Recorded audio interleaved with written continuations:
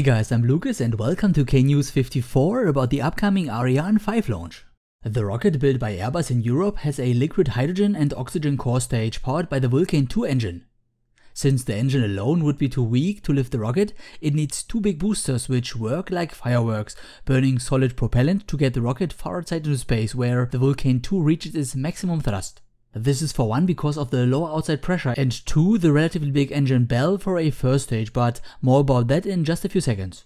On top sits the other stage, carrying two satellites which are separated by the so-called SYLDA. Ariane is rounded off with a 17 meters tall fairing, that's almost twice as high as an ordinary German house for example. Liftoff is scheduled for Wednesday, August 24th at 21.55 UTC and it will take place in Kourou, French Guiana. It lies north of Brazil where athletes from all around the world recently gathered to compete in the Olympic Summer Games, which is quite ironic if you ask me because it is actually winter in Brazil. Anyways, as the Arianespace livestream commentator likes to put it, the real rumble in the jungle will be heard when Ariane takes off and slowly turns eastwards along the equator.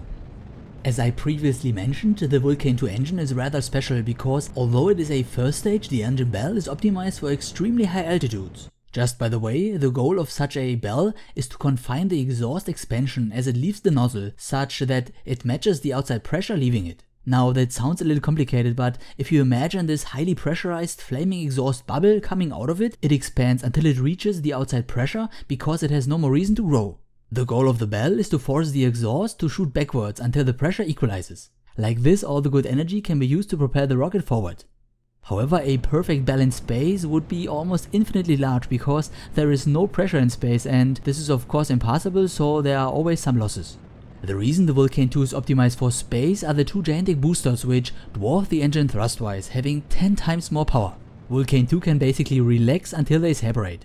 After booster separation, a little over 2 minutes into the flight, the core will go on for 6 more minutes until it separates the upper stage which will then do a burn lasting 15 minutes.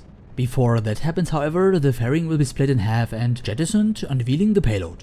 Speaking of it, both satellites are from the company Intelsat and called Intelsat 33E and 36.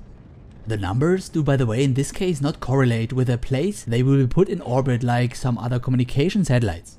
The bigger one on top is 33E weighs roughly 6 tons, is built by Boeing and based on their 702 MP platform.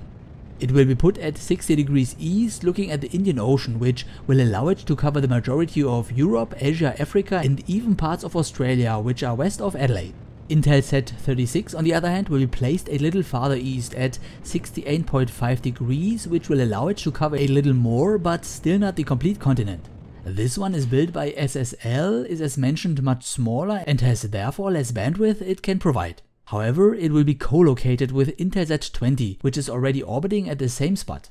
So Intelsat basically makes full use of Ariane's capabilities by splitting three big satellites it would normally use into one and a half it launches twice.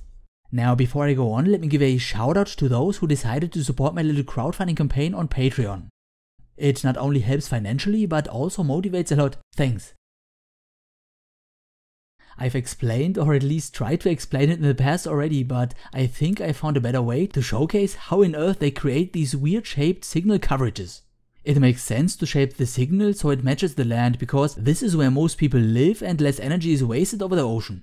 The trick is done by the dishes which are nothing but mirrors to radio waves. If your eye's retina would be sensitive to such waves, it could look like this. The red ball would be the signal and a flat mirror does not morph it in any way. Like this, the signal would simply cover a circular shaped region on ground. What you see on the right is the same mirror with a checkerboard. To make the deformation visible, I will slowly add. As you can see, the ball changes its shape and so would the signal. Engineers now calculate the deformation they need in order to get the best result. I just play around a bit and can actually split the ball into many individual spots, which actually looks quite similar to such satellite coverages. I hope that explains how it works a little better because it's really not so complicated as it looks. Meanwhile, the upper stage burned out and now separates Intelsat 33E, the SYLDA and Intelsat 36, one after another.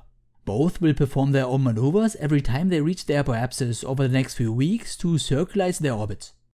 Okay, that shall conclude K-News episode 54 about Ariane 5 and I hope to see you in the next one if you like. Auf Wiedersehen and thank you for watching.